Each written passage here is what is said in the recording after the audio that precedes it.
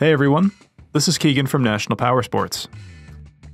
This 2017 Polaris Sportsman 850 SP with only 491 miles runs and rides well and shows minimal wear from its off-road use. It's been upgraded with a winch and is ready to ride. It's powered by an 850cc fuel-injected twin-cylinder engine with an automatic transmission and puts out 78 horsepower.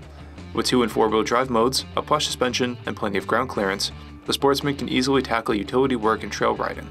It weighs in at 769 pounds and has a seat height of 37 inches.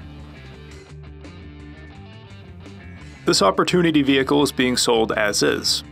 We encourage you to see and hear the bike in person. If you are unable to, we will be happy to do a live inspection via Skype or FaceTime. Please give us a call for more information.